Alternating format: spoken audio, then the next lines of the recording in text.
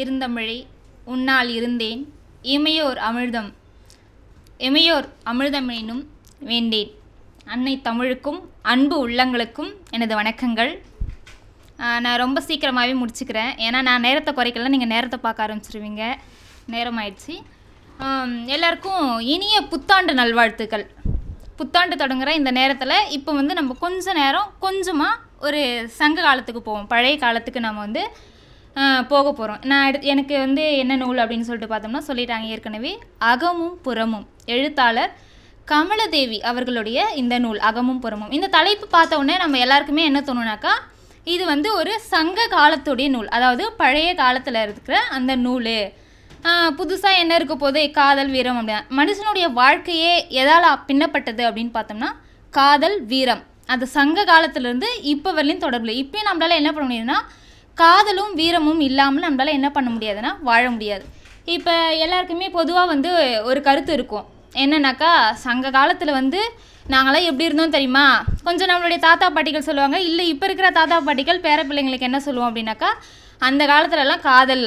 இப்போனா எல்லோரும் லவ் பண்ணிட்டு சுற்றுறீங்க அப்பா அப்படிலாம் கிடையாது. அதன் பிறகு வீட்டை விட்டு வெளியே போயிடுறீங்க. அப்படிலாம் கிடையாதுன்னு. ஆனால் அது ரொம்ப தப்பு.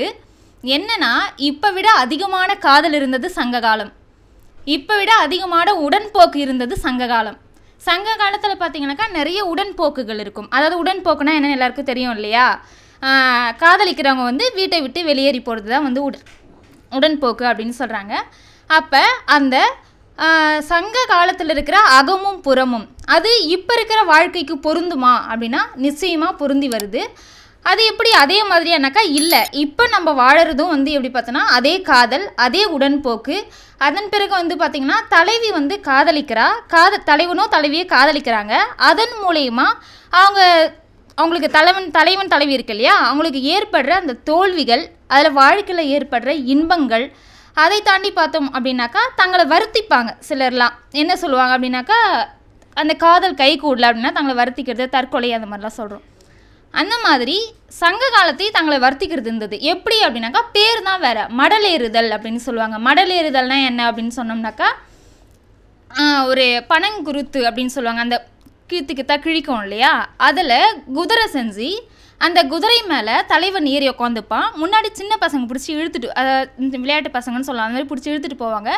தான் காதலிக்கிற அந்த தலைவியோட உருவத்தை ஓவியத்தை அவங்க வச்சு என்ன பண்ணுவாங்கனாக்கா அதில் அதாவது ஊருக்கு வந்து அறிவிக்கிறது. தலைவி வீட்டில் வந்து ஏற்றுக்க மாட்டாங்க காதலை அப்படிங்கிறதுக்காக என்ன பண்ணுவாங்கன்னா மடல் ஏறி இன்னாரே நான் காதலிக்கிறேன் அப்படின்னு சொல்லுவாங்க. அப்போ அவனுக்கு அதில் வந்து என்ன ஏற்படும்னா ரத்தம்லாம் வரும் அந்த மாதிரிலாம். அதை பார்த்துட்டு இவன் வந்து இந்த தலைவிக்காக இவ்வளோ பண்ணுறானே அப்படிங்கிறதுக்காக என்ன பண்ணுவாங்க அப்படின்னா திருமணம் பண்ணி கொடுக்குற ஒரு முறை இருந்தது. இப்போ இந்த அகமும் புறமும் இந்த நூலில் பார்த்தோம் அப்படின்னாக்கா மொத்தம் இருபது கட்டுரைகள் அனுபவ கட்டுரைகள் எழுதியிருக்காங்க கமலதேவி அவர்கள். நம்ம என்ன சொன்னால் இது வந்து இருபது கட்டுரைகள் அப்படின்னு சொல்கிறத விட இருபது சுவாரஸ்யமான நிகழ்ச்சிகள் அவங்க எழுதியிருக்காங்க அப்படின்னே சொல்லலாம்.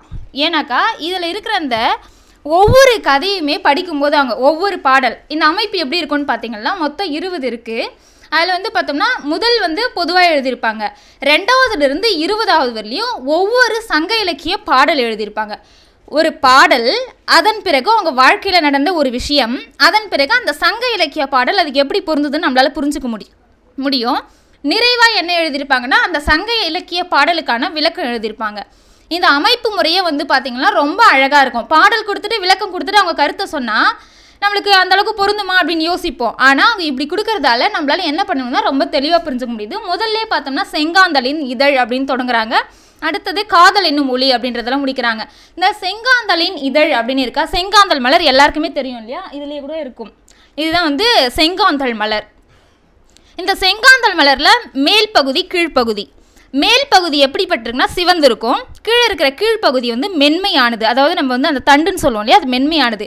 இதை சங்க அந்த அகமும் புறமும். இந்த தலைப்புக்கு இந்த அட்டை எப்படி பொருந்ததுன்னு பார்த்தோம்னா அந்த பூவோட மேலே இருக்கிற பகுதி வந்து பார்த்தோம்னா புறம் கீழே இருக்கிற பகுதி வந்து பார்த்தா அகம். ஏன்னா புறம்னா என்னன்னாக்கா போர். போர் எப்படி இருக்கும்? போரில் வந்து சண்டைகள் நடந்து குருதிகள் இருக்குமா? அப்போ அது சிவந்து இருக்கும். போர்க்களம் அப்படிங்கிறது சிவந்து இருக்கும். அது வந்து அந்த செங்காந்தல் மேல் பகுதி. கீழ்ப்பகுதி வந்து பார்த்தோம் அப்படின்னாக்கா ரொம்ப மென்மையாக இருக்கும். அப்போ அகம் அக வாழ்க்கை அப்படிங்கிறது வந்து எப்படி இருக்கும் அப்படின்னு பார்த்தோம்னா ரொம்ப மென்மையாக இருக்கும் அப்படின்னு சொல்லிட்டு நிறைய பாடல்கள் அதாவது சொன்னாலே பத்தொன்பது சங்க பாடல்கள் வந்து இவங்க சொல்லியிருக்கிறாங்க. இதில் எனக்கு பிடிச்ச சில பாடல்கள் மட்டும் நான் வந்து சொல்லிட்டு ஒரு ரெண்டு மூணு பாடல் மட்டும்தான். அதை மட்டும் சொல்லிக்கிறேன் நான். அதாவது நோமின் நெஞ்சே அப்படிங்கிற ஒரு தலைப்பு. இந்த இருபது தலைப்புகளுமே பார்த்தோம்னாக்கா ரொம்ப சங்க இலக்கியத்தோடும் தொடர்புடையதாக இருக்கும் நம்ம கூடவும் தொடர்புடையதாக இருக்கும். நோமின் நெஞ்சே அப்படிங்கிற ஒரு பாடல். நோமின் நெஞ்சே நோமின் நெஞ்சே இமைத்தி பண்ண கண்ணீர் தாங்கி அமைதற்கு அமைந்த நம் காதலர் அமைவு இலராகுதல் நோமின் நெஞ்சே அதாவது தோழி வந்து சொல்கிறா நீ வந்து என்ன பண்ண? தலைவனை வந்து வி- நல்லா நம்பிட்டு இருந்த இல்லையா இவ்வளோ நாள்? ஆனால் அவன் எப்படிப்பட்டவன் உன்னை வருத்தத்தில் விட்டு போயிட்டு அவன் உனக்கு செட்டே ஆக மாட்டான் அப்படின்னு தோழி சொல்கிறா அப்போ அதுக்கு தோழி வந்து அந்த தலைவி வந்து சொல்கிறா என்னன்னாக்கா நீ அவனை நினச்சிட்டு இருந்தல்ல உன் மனசு நினச்சிட்டு தானே இருந்த நீ மனசுக்கு சொல்லிக்கிறா நீ நல்லா வருத்தப்படு. இப்போ பாரு தோழி என்னன்னு சொல்கிறா உனக்கு செட் ஆக மாட்டேன். ஆனால் அவன் வரலன்றது கூட தலைவிக்கு வருத்தம் கிடையாது. உனக்கு செட் ஆக மாட்டான்னு தோழி சொல்லிட்டா பார்த்தீங்களா அதுதான் வந்து அந்த தலைவிக்கு எப்படி இருக்கான் மிகப்பெரிய வருத்தமாக இருக்கிறது. இந்த பாடலில் வந்து பார்த்தீங்கன்னா நோமென் நெஞ்சே நோமென் நெஞ்சே அப்படிங்கிறதே வந்து திரும்ப திரும்ப இது வந்து ஒரு குறுந்தொகை பாடல். அதன் பிறகு முதல்ல செங்காந்தல் இதழே சொல்லும்போது யாயும் நியாயும் யாராகியரோ எந்தையும் நுந்தையும் எம்முறை கேளீர் யானும் நீயும் எவ்வழி அரிதும் செம்புல பயில் நீர் போல அன்புடை நெஞ்சம் தாம் கலந்தனவே. இந்த பாடல் வந்து இப்போ திரைப்படம் திரைப்பாடல்கள் மூலியமா நம்ம எல்லாருக்குமே தெரிஞ்ச பாடல் தான். இதுக்கான பொருளும் வந்து எல்லாருக்குமே தெரியும் இல்லையா? அதாவது பொதுவாக தண்ணி இருக்குது அப்படின்னாக்கா அது குளத்தில் இருந்தாலும் சரி குட்டையில் இருந்தாலும் சரி எங்கே இருந்தாலும் கொஞ்ச நாளுக்கு அப்புறம் அது என்ன ஆகும்னா அந்த தண்ணி வந்து தெளிஞ்சு நின்றோம். ஆனால் இந்த செம்புல பெயல் நீர் போல செம்மண் இருக்கு இல்லையா? அந்த செம்மண்ணில் கலந்த நீரை நீங்கள் வருஷம் ஃபுல்லாக வச்சுட்டு இருந்தாலும் அது தெளிஞ்சு பிரிஞ்சு தனியாக வரவே வராது. அதே மாதிரி தான் அந்த தலைவனும் தலைவியும் கொண்டிருக்க அந்த காதல் இருக்கு இல்லையா? அதுவும் எப்படிப்பட்டது அப்படின்னு பார்த்தோம்னாக்கா அது செம்புல பயிலீர் அதாவது செம்மண்ணில் கலந்த அந்த நீர் போல அப்படின்னு வந்து சொல்லியிருப்பாங்க. இதில் வந்து நிறைய அவங்க வாழ்க்கையில் நடந்த விஷயங்கள் அப்பப்போ ஒவ்வொரு பாடலுக்குமே அவங்க வாழ்க்கையில் நடந்த நிறைய விஷயங்கள் சுவாரஸ் சுவாரஸ்யமான விஷயங்களை வந்து சொல்லியிருக்காங்க. அதன் பிறகு வந்து பார்த்தோம்னாக்கா மணி ஒலிக்கு தயங்கு அப்படின்னு சொல்லிட்டு ஒரு தலைப்பு. அதாவது வந்து தேர்ப்பாகன் வந்து போர் முடிச்சுட்டு வராரு. போர் முடிச்சுட்டு வரும்போது முல்லை நிலத்தில் வந்து வராரு. வரும்போது வந்து அந்த மான்லாம் இலைப்பாரிட்டு இருக்கான் மான் இலைப்பாரிட்டு இருக்கு அதன் பிறகு வந்து அவர் வர வழியில் குளம் இருக்குது அந்த குளத்தில் பூத்திருக்க பூக்கள் வந்து உறங்கிட்டு இருக்கு பிடவம் பூ அப்படின்னு சொல்லுவாங்க. அது முல்லை நிலத்துக்குரிய ஒரு பூ. அந்த பூ வந்து ரோட்டில் விழுந்திருக்கான். அப்போ அந்த தேர்ப்பாகனை வந்து குதிரை கட்டிட்டு வரா குதிரைக்கு என்ன பண்ணாங்க மணி கட்டியிருப்பாங்க. அந்த சொல்கிறான் அந்த மணி இருக்கு இல்லையா? அந்த மணி ஆடக்கூடாதான். ஏன்னா அந்த மணி ஆடினா சத்தம் வரும். சத்தம் வந்துச்சுன்னா என்ன ஆகுனா அந்த மான் இருக்குல்ல மான் இலைப்பாரிட்டு இருக்கு. தன்னோட இணை மான் கூட இலைப்பாரிட்டு இருக்கு. அதுக்கு தொந்தரவாக இருக்கும். அந்த மலர்கள் என்ன பண்ணிட்டு இருக்கு? உறங்கிட்டு இருக்கு. அதுக்கு தொந்தரவாக இருக்கும். அதனால என்ன பண்ணுனாக்கா இந்த மணி சத்தம் கூட கேட்காம போ. அது பார்க்கும்போது நமக்கு எப்படி இருக்கும்? ரொம்ப வெகுளியாக எப்படி இருக்கிறான் பாரு. இது இது ஆடாமல் போய் எப்படி போக முடியும்? அப்படின்னு சொல்லிட்டு தோணும் இல்லையா? அது எப்போ அது அந்த மாதிரி ஒரு எண்ணம் எப்போ வரும்னா காதல் வந்துட்டா நம்ம என்ன சொல்கிறோம் அப்படிங்கிறதே நமக்கு தெரியாது. அப்படின்னு அது என்ன சொல்கிறோன்னு தெரியாது அப்படின்னா வந்து என்னன்னாக்கா இப்படி அடுத்தவங்களுக்கு துன்பத்தை தரக்கூடாது. அவனுக்கு என்ன தோணுதுனாக்கா இது வந்து தலைவியை வருத்தக்கூடிய ஒரு செயல். தலைவி இப்போ வந்து துன்பத்தில் இருப்பா இல்லையா? அப்படிங்கிற மாதிரி எண்ணக்கூடிய ஒரு செயலாக ஏறுது. இதை நிறைவாக முடிக்கும்போது வந்து அந்த மடல் ஏறுதல் அப்படிங்கிற ஒரு விஷயத்தோடு வந்து முடிக்கிறாங்க. இதில் நடுவில் வந்து பார்த்தோம்னாக்கா பிரிதல் அப்படிங்கிறது இருக்குது. பிரிதல் அப்படிங்கிறது வந்து தலைவன் தலைவியை பிரியிறது மட்டும் இல்லை நம்ம வாழ்க்கையில் நம்ம ஒரு இடத்த வந்து எப்படி பிரியிறோம் அப்படிங்கிறது.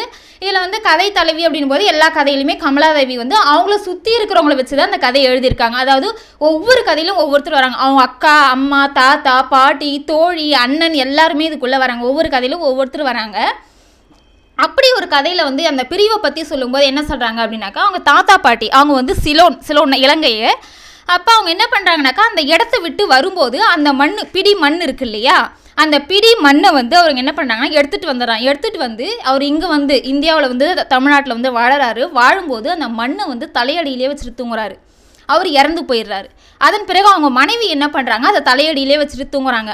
அப்போ அந்த கதையில அவங்க சொல்கிறாங்க இந்த மாதிரி வந்தோம் அந்த மண்ணு தான் இது அப்படின்லாம் வந்து இந்த கமலதேவி கிட்ட வந்து சொல்கிறாங்க அப்போ வந்து அவங்களால புரிஞ்சுக்க முடியுது. பிரிதல் தன் சொந்த மண்ணை விட்டு எப்படி பிரியுது அப்படின்னு சொல்லிட்டு அவங்களால புரிஞ்சுக்க முடியுது. ஆனால் இன்னும் ஆழமாக எப்போ புரிஞ்சுக்க முடியுதுன்னா கமலதேவி அந்த மண்ணை விட்டு பிரியும் போது தான் அந்த வழி வந்து அவங்களுக்கு புரியுது. எதனால் அந்த தாத்தா பாட்டி அந்த மண்ணை பிரிஞ்சாங்க? எதனால் கமலதேவி அந்த மண்ணை பிரிஞ்சாங்க? அப்படிங்கிறத வந்து நீங்கள் தெரிஞ்சுக்கணும் அப்படின்னாக்கா நிச்சயமாக அந்த புக்கை படிக்கணும். அதே மாதிரி வந்து அதை புரிஞ்சுக்கணும் அப்படின்னாக்கா உங்களுக்கு பிடிச்ச ஒரு இடத்துலேருந்து நீங்கள் பிரிஞ்சு பார்க்கணும். அப்போ தான் வந்து அதை வந்து புரிஞ்சுக்க முடியும். இதில் இருக்கிற இந்த கதையின் இந்த இருபது கதைகள் பத்தொன்பது கதைகள் இருபது கதைகள் இருக்கு இல்லையா? இதை ஒவ்வொன்றையுமே படிக்கும்போது உங்களுக்கு எப்படி இருக்குன்னா அந்த இடத்துல நீங்களாக மாறிடுவீங்க. அந்த கேரக்டர் மட்டும்தான் மாறும். அவங்க வந்து அவங்க அக்கா பேர் ஒன்று சொல்லியிருப்பாங்க தங்கச்சி பேர் ஒன்று சொல்லியிருப்பாங்க. உங்களுக்கும் அப்படி ஒரு அக்கா இருப்பாங்க ஆனால் பேர் வேறையாக இருக்கும். உங்களுக்கு அப்படி ஒரு தோழி இருப்பாங்க ஆனால் அவங்க அது பேர் வேறையாக இருக்கும். அதே மாதிரி தாத்தா பாட்டி உங்களுக்கு இருப்பாங்க ஆனால் பேர் தான் வேறையாக இருக்கும். மற்றபடி இந்த கதைகள் இருக்கு இல்லையா இந்த எல்லா கதைகளுமே எப்படின்னாக்கா நம்மளோட தொடர்புடையது. இந்த நூல் குறிப்பாக வந்து பார்த்தோம்னா அகம்புறம் அதாவது காதல் போர் அப்படிங்கிறது வந்து சங்க காலத்துது காதல் போர் அப்படின்ற வார்த்தைனாலே அகம் புறம்னாலே அது பழைய காலத்துது அப்படின்ற ஒரு எண்ணம் இருந்தால் அந்த எண்ணத்தை மாற்றி அது வந்து அகம் புறம் அப்படிங்கிறது இன்றளவும் நம்ம கூட தொடர்ந்து வருது அப்படிங்கிறத வந்து ஒவ்வொரு கதைகள் வழியாகவும் ஒவ்வொரு அனுபவ கட்டுரைகள் அப்படின்னு அவங்க சொல்கிறாங்க ஆனால் நான் இதை வந்து ஒவ்வொரு சுவாரஸ்யமான நிகழ்ச்சிகள் அப்படின்னு தான் சொல்கிறேன் நிகழ்ச்சிகள் மூலியமாகவும் ரொம்ப அற்புதமாக வந்து இவங்க சொல்லியிருக்காங்க. நேரம் கருதி நான் வந்து நிறைய பாடல்கள் விரிவாக எதையும் பேச முடியல. வாய்ப்பளித்த எல்லாருக்குமே நன்றி. கண்ணல் தமிழே நீ ஒரு பூக்காடு நான் ஒரு தும்பி என்று சொல்லி அனைவருக்கும் நன்றி கூறி விடைபெறுகிறேன். நன்றி வணக்கம்.